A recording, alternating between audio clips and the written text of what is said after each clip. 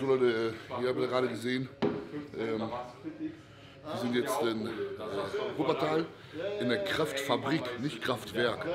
Kraftfabrik. Er sagt Kraftclub, ich sag Kraftwerk, das heißt Kraftfabrik. Ähm, gerade kurz eine Jumpführung gemacht mit William. Ähm, behind the scenes jetzt William noch ein bisschen am Rumchillen. Der ist nämlich wie bei sich zu Hause. Der zieht nicht Schuhe um, der zieht sich nicht um, Kurva, der kommt einfach her. Wir sind in der Kraftfabrik, hier brauchst du dich nicht umziehen. Hier kommst du umgezogen. Die kommst umgezogen. Ist Ja. ist so wie damals in Polen. Er denkt, er wäre in Polen, aber er, er hat sich doch in, nicht integriert in die deutsche Gesellschaft. Ne? Am besten solche Leute wie ihn gleich direkt ausweisen zurück in ihr Land. Digga, deine Beine sind ja überdimensional. Ich sehe das jetzt das erste Mal. Weißt du, wir uns das letzte Mal so richtig einmal auf FIBO, ne? Da kamst du zu meinem Stand Freundin, war ich da?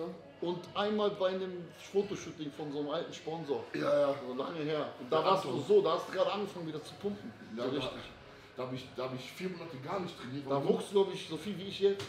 Aber deine Beine, du hast irgendeinen Gendefekt da drin. Alter. Ich wünsche dir einen Gendefekt in meinen Arm.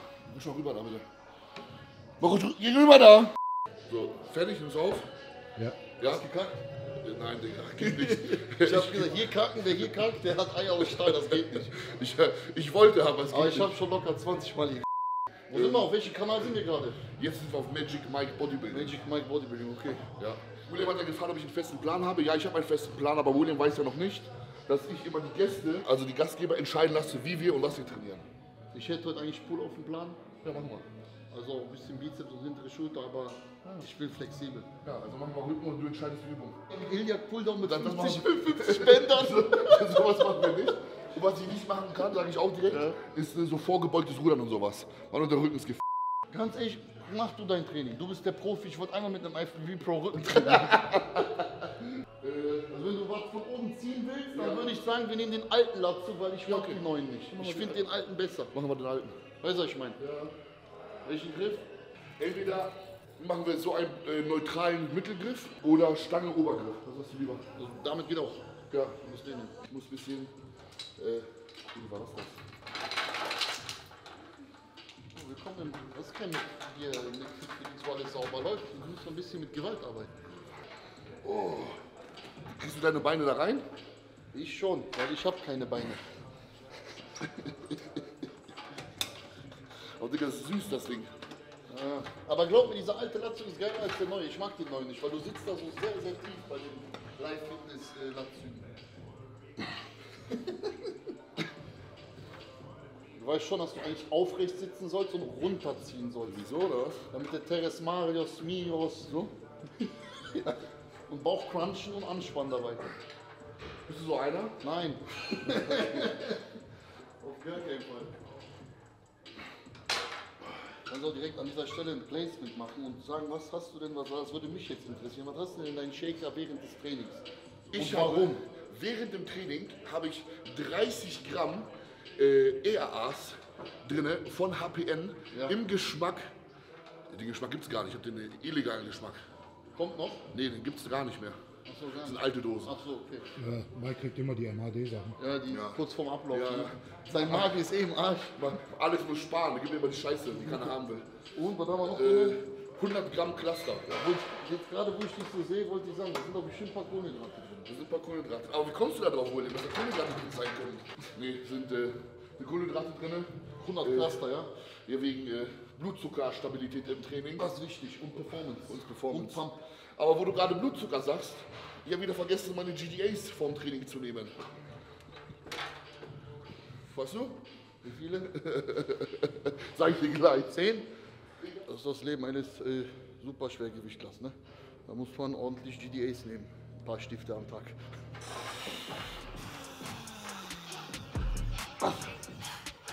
Zieh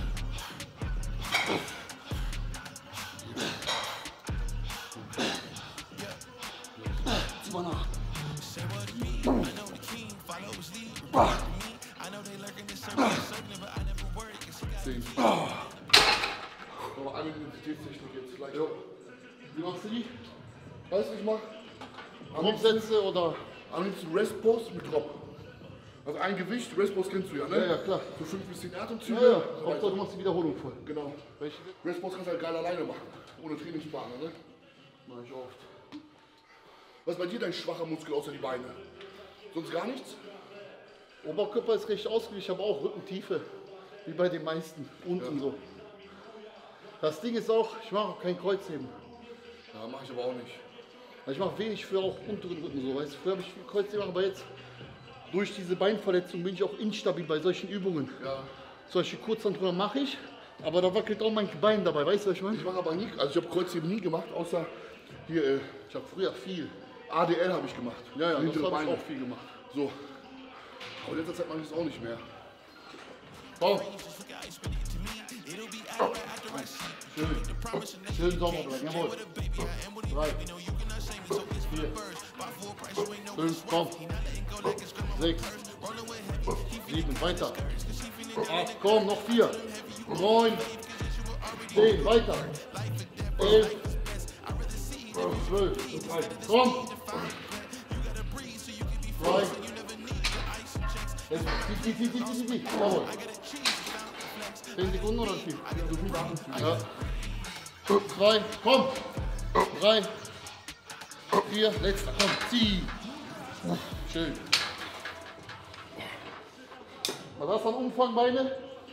85 jetzt aktuell. Ich glaube nicht so viel. Vier. Fünf. Sechs. Sieben. Acht. Neun. Zehn. Elf. Zwölf. Fünfzehn. Fünfzehn. Zwei. Hilf.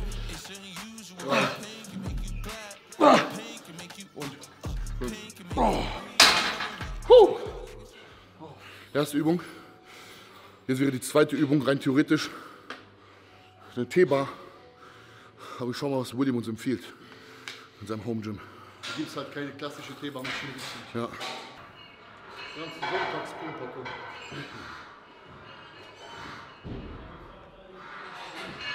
Weißt du, was ich für eine Theorie habe? Dass du sowieso scheißegal, welche Übung du machst. Wenn du eh den kompletten Rücken triffst irgendwie.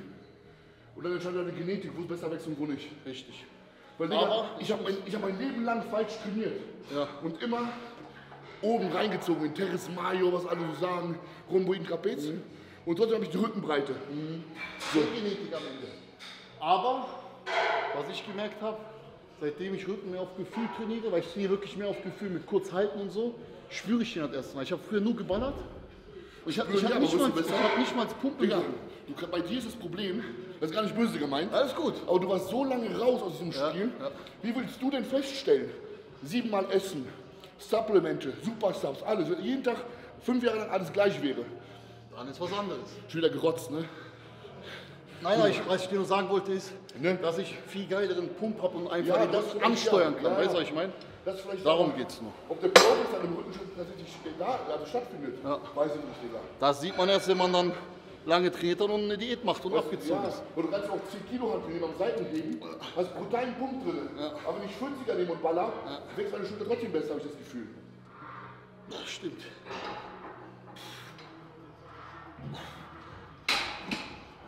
Weil ich war bei früher, wo du, wo du noch gestartet bist, immer heftig, dass die, du hast überall Adern gehabt, Digga. Richtig vaskulär warst du, ne? Immer. Ja. Also Arme sind bei mir immer vaskulär, egal ob Diät, Aufbau. Was trinkst du? Trinkst du nur Wasser aktuell oder was? Ich habe kein Intra, Warum? auch keine EAs. Nur eher, Intra habe ich nur am Beintag. Ich habe auch wenig Kalorien drin aktuell. Ich mache hier eine kleine Diät, Ja, ich weiß. Ich weiß. deswegen.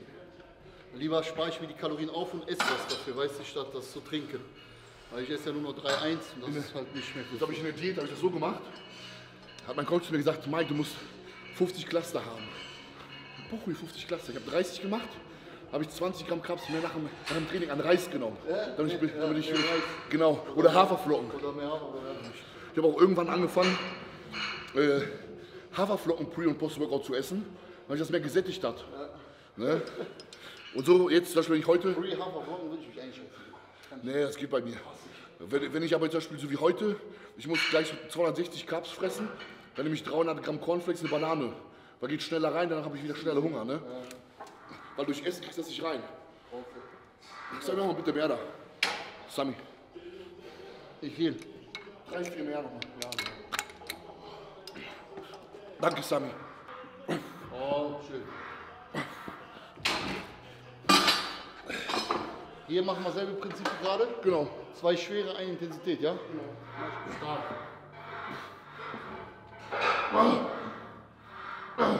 Das Gerät durchgespielt. Ich, wir machen eh lange Satzpausen, merke ich schon. Trainierst halt nicht so stark. Also nicht so mal lange, weißt du. Viel labern. Lange Satzpause, damit man dann für die Kamera viel Gewicht hat. Dabei. Okay.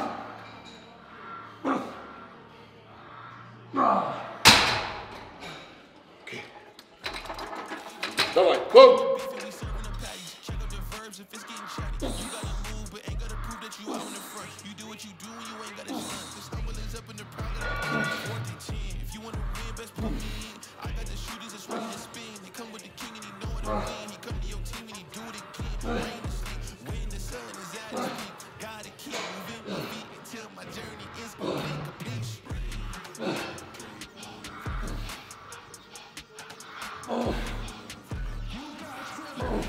Komm!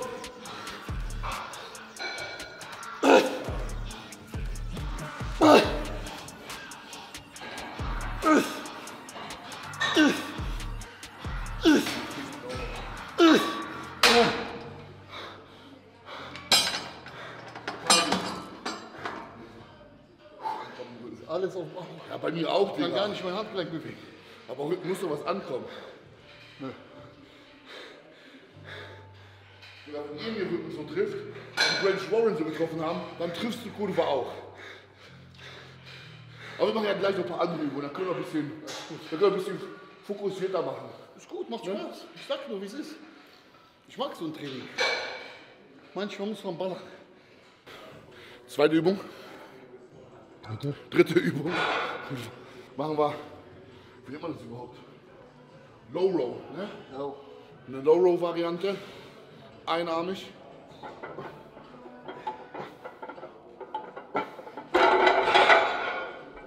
Ist auch hier nur für Eingang für Classic Physikathleten, oder? Ja, also, Oder? da passt ein Bodybuilder nicht rein. Das ist eine Falle. Wenn ein Bodybuilder da durchgehen will, dann bleibt es stecken. der stecken, der kommt Ja. erstmal nicht mehr raus. Das das Training einfach. ist aktuell nüchtern 151,5. 45 Kilo. Ich hatte heute 105. Eineinhalb. Entschuldigung, wenn du scheiß Arm hast, das Gewicht, das fickt einen. Das ist, das ist nichts wert, wenn du so schwer bist, wenn du so scheiß Arme hast, Digga. So ein Tor rein. Pro-Tipp. Mach deinen Satz. Was hältst du davon? Ich will gerne erhöhen. Ja, jetzt direkt. Ja, mal. Okay. 20, 25? Ja, du hast noch eine 25er, scheiße. Oh, war Tinnitus bekommen. Bist du drauf geklatscht, weil ich Tinnitus bekommen habe. Okay. Oh, Wer sagt Tim immer? Mashallah, Bruder. ja. Ja! Ja! Los! Oschlewitzchen. Tim auf der Bühne. Besiegen. Besiegen. Hier. Tim, drücken besiegen. Ja. Ja, nicht schwer.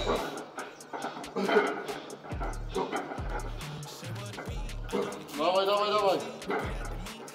Schön. Weiter. Komm. 12 für Tim und 14 für ihn. 14 für Emil, komm. Eins, zwei, drei, vier, fünf, komm. Sechs, weiter. Sieben, acht, neun, weiter. Zehn, noch vier, noch drei, zwei, eins. Ja, schön. Emi und Tim.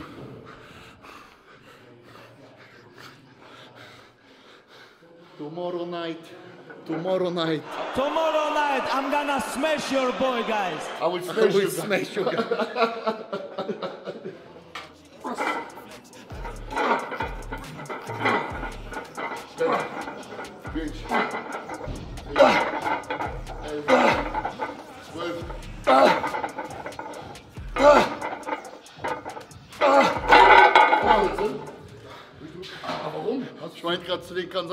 klickstarkes Video bekommst. Der so, warum? Ich so, ich muss kotzen. Aber warum? Weil äh, du das nicht gewohnt bist, du Drop sitze oder was? So, Dre- Dreier, Vierer Drops bei zwei Übungen? Nein. Nee? Ich mache das meistens in der letzten Übung zum Auspowern.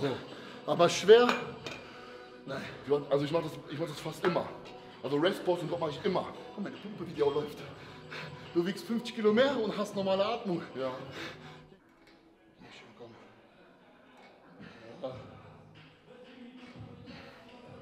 Aber es ist eine coole Maschine. Ist gut. Mehr? Ja, reicht.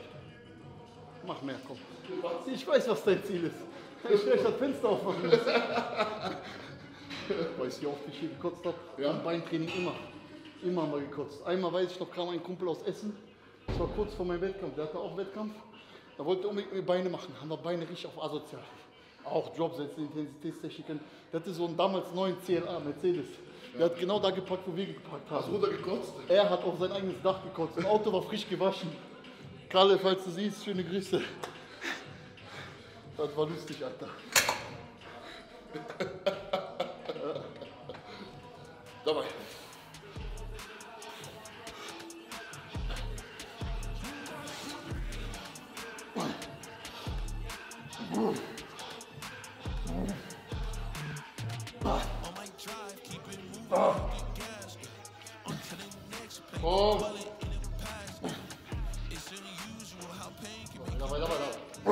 Jawohl, komm, dalej.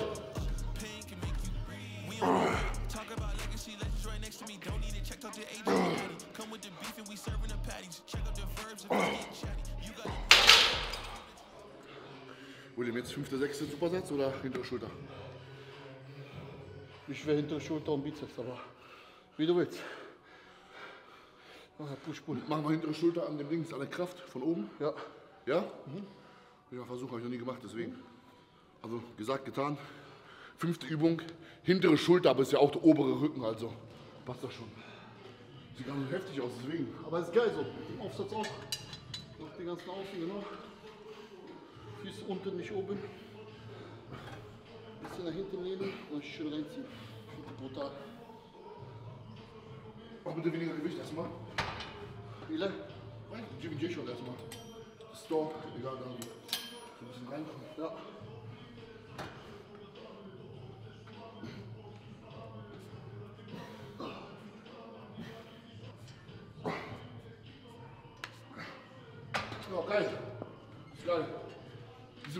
bei am Latzug so ein bisschen.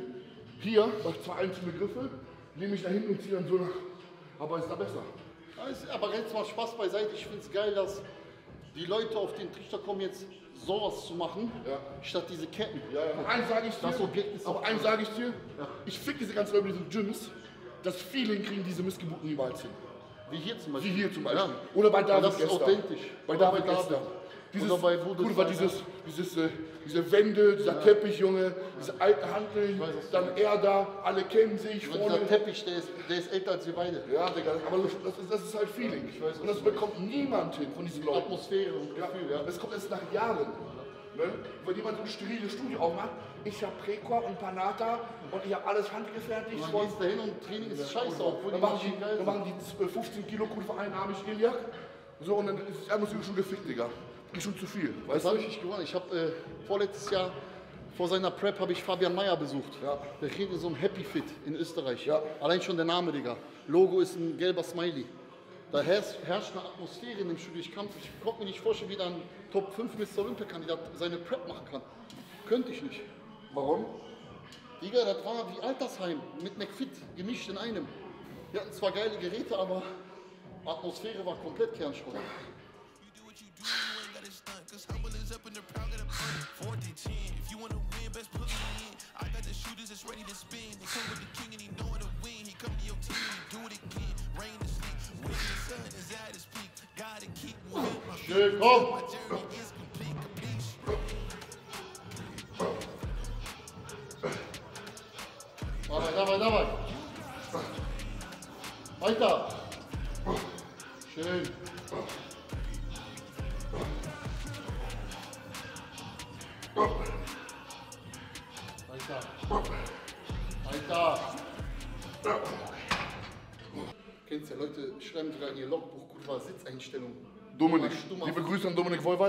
auch immer so eine Scheiße.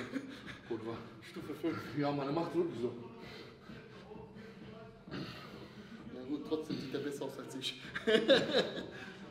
Lustig oder nicht lustig machen, so, ne? Ja. Aber wärst du heile, wärst du heile. Und wärst du wie damals, Ich könnte weiter viel durch. Schaden an Digga, pass auf. Ich könnte viel Schaden doch an einmal kurz die Klappe. Würdest du so weitermachen, wie ich dich kennengelernt habe, du warst auf der Bühne, hätte durchgezogen, jetzt diese fünf Jahre lang, seit ich dich kenne, hundertprozentig, mit Super Subs, Subs, alles. Digga, du weißt selber, weiß. Olympia-Quali wäre easy gewesen. Nein. Doch, Digga, hättest du Erstmal geschafft. Pro-Cut, aber, das, das, aber Digga, heutzutage Pro-Cut, selbst wenn du jetzt durchziehen würdest, Ich finde heutzutage ist schwerer als damals. Also in Classic ist schwerer, Niveau ist krasser. Nein, Digga. Doch, nein, ich finde schon. nein. Aber ich sitze auf dem Stuhl, hab mir mehr. Aber Digga, ich muss dir sagen, Arnold und Phil sehen ein bisschen hässlich aus hier bei euch. das ist doch das, was ich meinte. Digga, Der, der, der aus. ein bisschen, also Ransu? Guck mal, der. Hab ich gar nicht gesehen, Digga.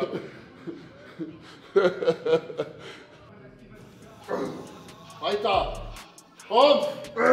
Komm.